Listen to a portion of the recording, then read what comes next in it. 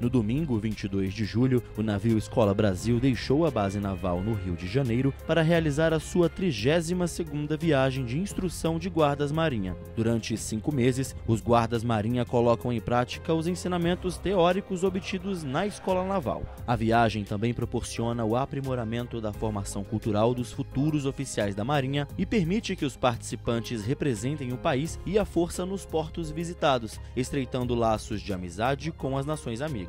Esta é a primeira vez que mulheres formadas na escola naval participam da viagem. A Guarda Marinha Narayane é uma das 12 embarcadas. Ela é a aluna número 1 um da turma. Sempre com muita dedicação aos estudos, Narayane fala do orgulho de estar na primeira turma de mulheres a se formar na escola naval. Pra gente é quase inacreditável, assim, saber que a primeira turma sou eu e as minhas amigas, as meninas que moraram comigo e tudo. Nós somos bem próximas, então a gente sente bastante orgulho uma das outras e do grupo todo.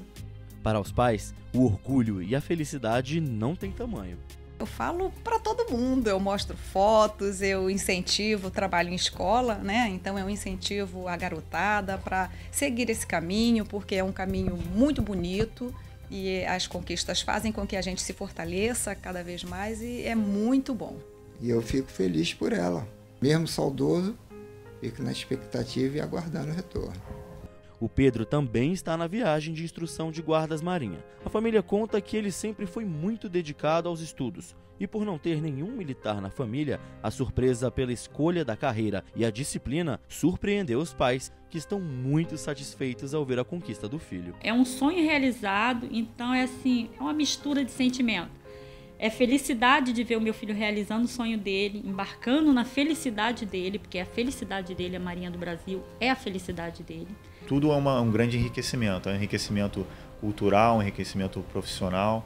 Acho que é um amadurecimento muito grande também, por esse período longe de casa, longe da família, também acaba se tornando um amadurecimento muito grande para a gente. A Narayane e o Pedro integram o grupo de 208 guardas marinha que embarcaram no navio Escola Brasil. Depois de passarem por 15 portos de nove países, o retorno ao país está previsto para dezembro.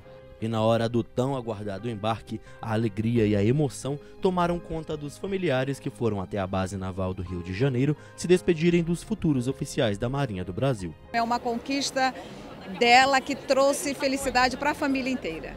Eu já fico imaginando ele apontando lá na Baía de Guanabara, voltando, apitando e meu coração explodindo aqui. E para quem tem vontade de seguir a carreira militar, a Narayane deixa um recado. Acho que é só acreditar e ter fé, estudar bastante, porque tanto antes quanto lá dentro a gente precisa bastante do estudo.